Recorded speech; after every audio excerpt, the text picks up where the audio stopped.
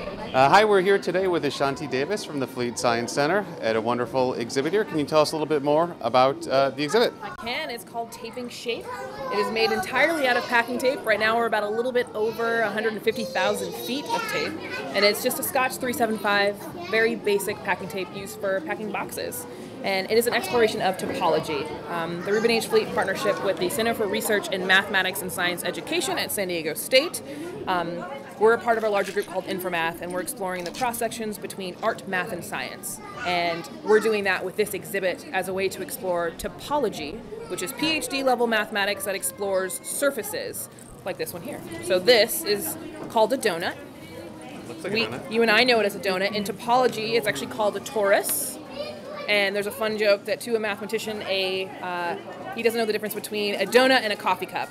And that's because in topology, donuts and coffee cups are exactly the same. They are both considered tori, which is what this subject is. So there's three main topologies in the structure. Uh, a torus, another one called a Schwarz P, which is a minimal surface, um, like a bubble, and then another one called a pair of pants, very similar to the pants you wear, um, but it's actually a topological building block. So you can actually use that piece to build many of the other topologies. So it's kind of a fun thing to explore. And it's made out of tape. You can walk around and it slide down one of the pants legs.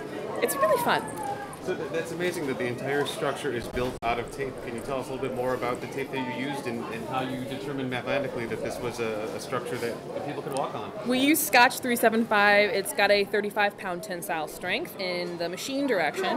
and the cross direction, it goes up to 70 pounds, and that's per inch width. So for every inch of this tape, it can hold up to 35 pounds in one point, or 70 in one point, depending on the direction. So we used a process of overlaying it in multiple directions, so going vertically, horizontally, and then diagonally both ways to create points that were very, very strong. And we continued that overlapping process all over the places. And it's mostly the floors because the floors are load bearing, but they also pull on the rest of the structure as well. So we got it up to um, being able to hold a, a decent amount of weight um, in all positions and many times. And so it's been up since January and it's doing pretty good.